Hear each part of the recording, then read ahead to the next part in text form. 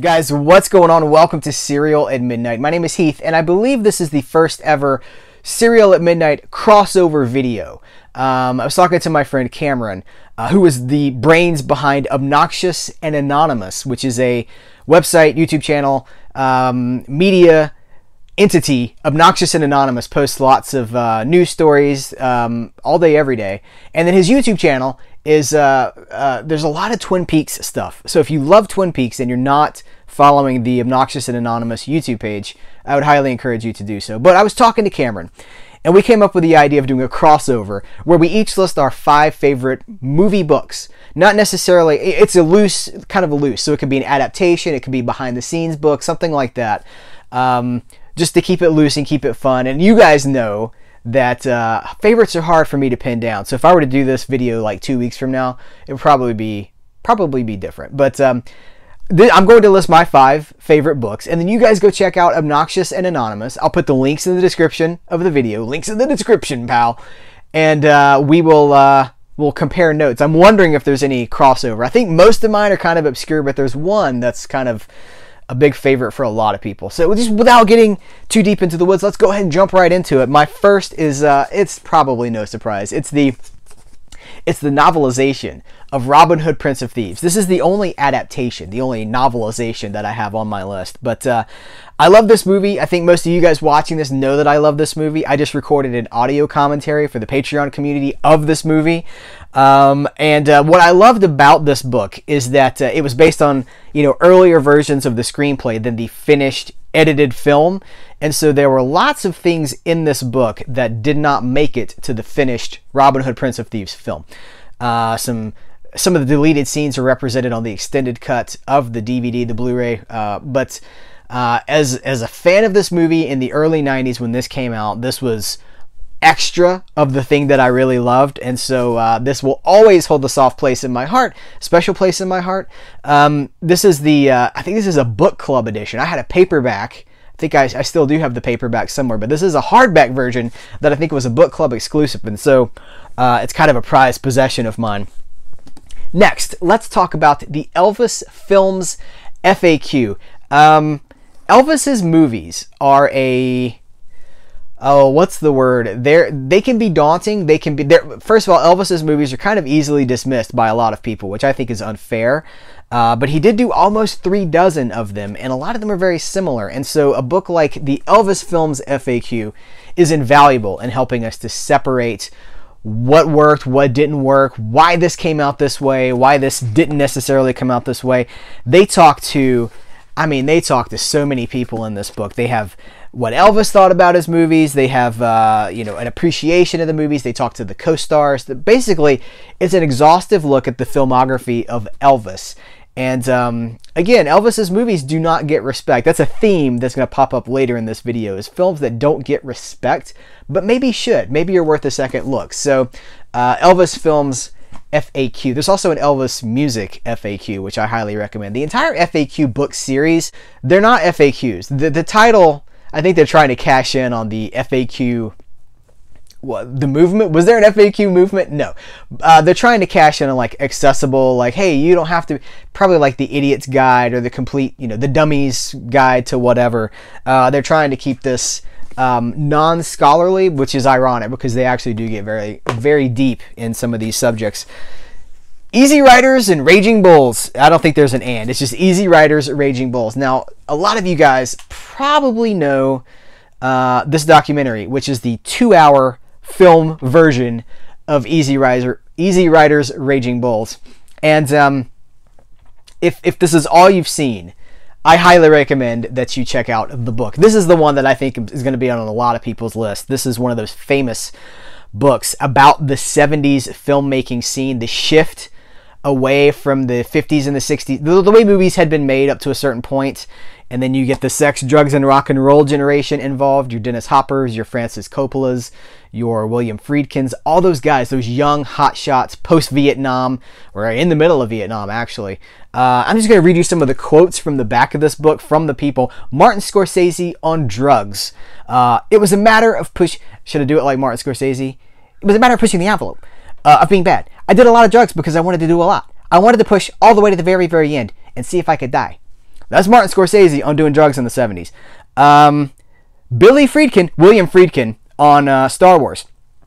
It was like when McDonald's got a foothold, the taste for good food just disappeared. We entered a period of devolution. Everything had gone backward toward this big sucking hole. George Lucas on Star Wars. Popcorn pictures, uh, uh, popcorn pictures have always ruled. Why do, why do people go see them? Why is the public so stupid? It's not my fault. That's George Lucas on Star Wars.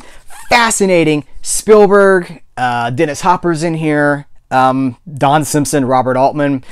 It's very clear a lot of these people, there were loyalties, backstabs, betrayals. The story of 70s filmmaking is absolutely fascinating. This is a great one.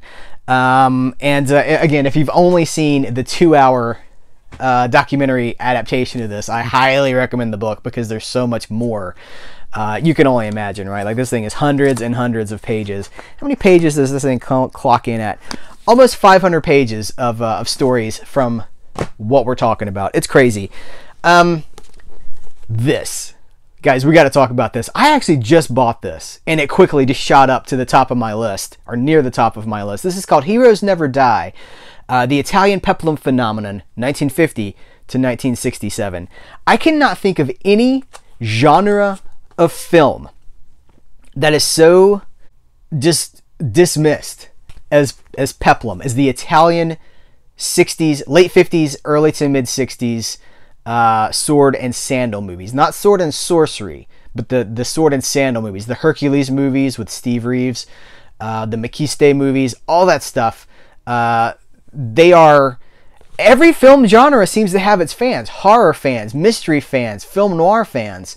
Uh, adventure movie fans. Like you can find silent movie fans. You can find defenses for all of these things, but not Peplum. Peplum is the redheaded stepchild of film history.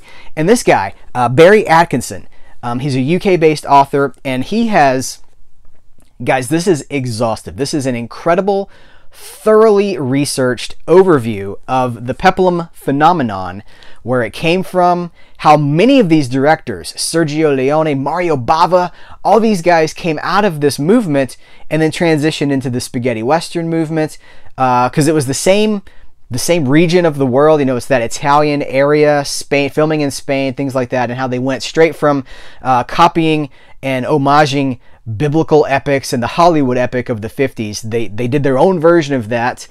Um, high concept, high violence, lots of skin. And then they immediately transitioned into that straight into the spaghetti western. And then from the spaghetti western into the Euro crime, the Euro horror, things like that. It's a through line all the way through cinema. And again, spaghetti westerns, Euro crime, Euro horror, all those genres have fans that are like a deep fandom. But not the movies, not the movies that started it all, which is so interesting. So I highly recommend this book. I'll be talking about that more on the channel because I have so much to say. Uh, and then the last, uh, I, I guess this is my number one. I didn't really rank these, but I suppose this is my number one. Uh, Disney Animation, The Illusion of Life. Now, this was my, I've had this copy for years. I bought this when I was a child.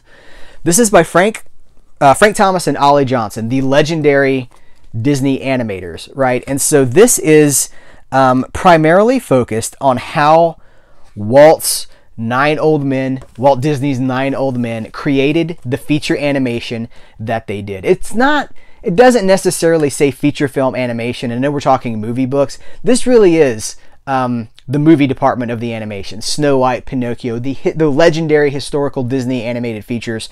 Uh, and I have loved this book for decades now. I bought this when I was very young. Uh, I think this is a first printing, but I could be wrong.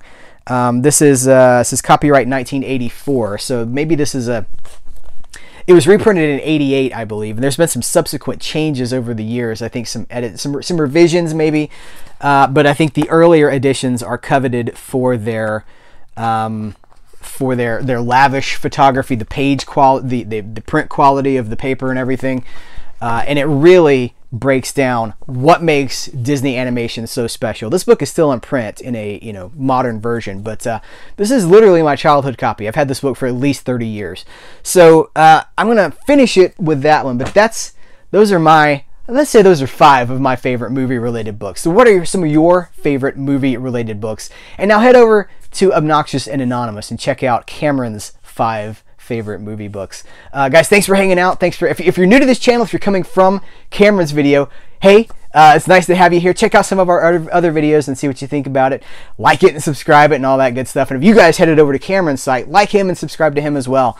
Uh, let's see if we can all uh, rise the tide and lift the ships. That sounded very motivational. Guys, thank you so much. I appreciate you, and I will catch you later.